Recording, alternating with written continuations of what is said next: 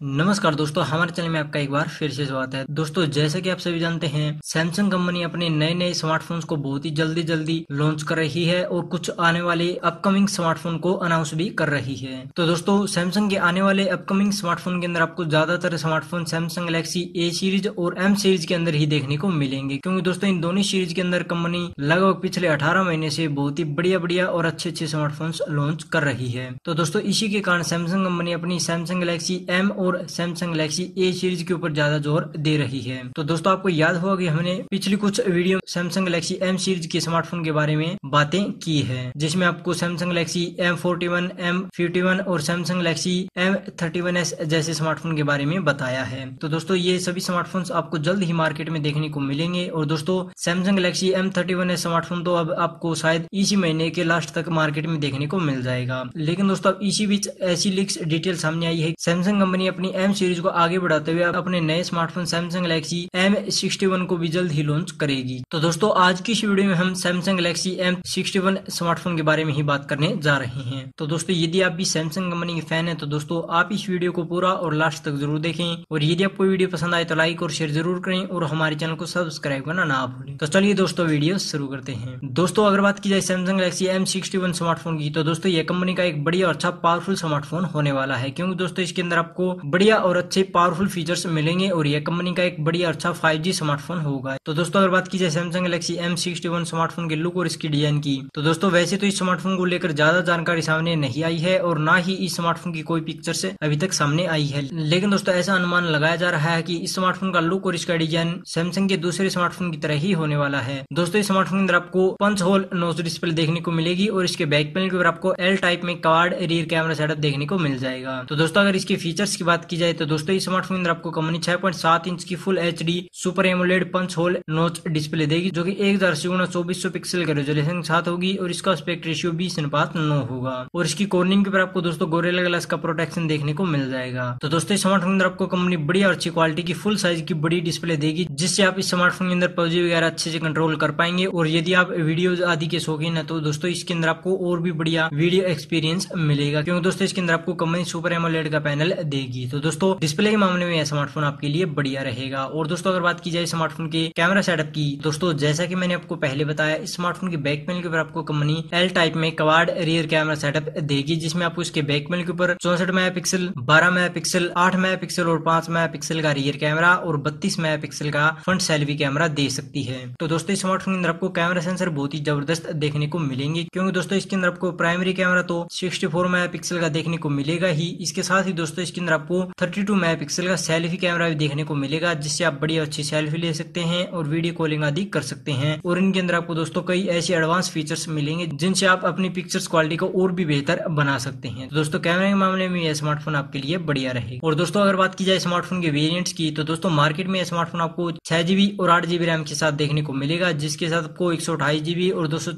का internal storage देखने को मिल जाएगा। तो दोस्तों मार्केट में शायद इस स्मार्टफ़ोन के अंदर आपको दो वेरियंट देखने को मिल जाएँगे। और दोस्तों अगर बात की जाए स्मार्टफ़ोन के प्रोसेसर की तो दोस्तों स्मार्टफ़ोन अंदर आपको कंपनी बड़ी और अच्छा पावरफुल चिपसेट देने वाली है। दोस्तों स्मार्टफ़ोन अंदर आपको स्नैपड्रैगन सात या सात सौ पचहत्तर का चिपसेट देखने को मिलेगा। क्योंकि दोस्तों, ये दोनों ही चिपसेट 5G चिपसेट हैं और सैमसंग गैलेक्सी M61 स्मार्टफ़ोन एक बढ़िया अच्छा 5G स्मार्टफ़ोन होने वाला है। बाकी दोस्तों, आप इसमें कौन सा चिपसेट देखना पसंद करेंगे, हमें कमेंट करके बता भी सकते हैं। तो दोस्तों प्रोसेसर के मामले में यह स्मार्टफ़ोन आपके लिए बढ़िया रहेगा। इसके अंदर आपको बढ़िया अच्छा स्नैपड्रैगन का लेटेस्ट चिपसेट देखने को मिलेगा, जिससे आपको ये स्मार्टफ़ोन बहुत ही बढ़िया अच्छा परफॉर्मेंस देगा। तो दोस्तों, यदि आप एक बढ़िया अच्छा पबजी के लिए स्मार्टफ़ोन खरीदना चाहते हैं तो दोस्तों, ये आपके लिए एक बढ़िया अच्छा स्मार्टफ़ोन हो सकता है। और यदि दोस्तों, बात की जाए स्मार्टफ़ोन की बैटरी की तो दोस्तों, दूसरे सभी फीचर्स की तरह ही इस स्मार्टफ़ोन के अंदर आपको कंपनी बैटरी भी बहुत ही ज़बरदस्त और पावरफुल देने वाली है। क्योंकि दोस्तों, आप सभी को पता होगा कि सैमसंग गैलेक्सी एम सीरीज़ के अंदर आपको पाँच हज़ार से ऊपर की बैटरी देखने को मिलती है। और Samsung Galaxy M thirty series के अंदर तो आपको दोस्तों छह हज़ार की पावरफुल बैटरी मिली है। तो दोस्तों, ऐसा अनुमान लगाया जा रहा है कि स्मार्टफ़ोन के अंदर आपको कंपनी पच्चीस वाट के फास्ट चार्जिंग सपोर्ट वाली अड़सठ सौ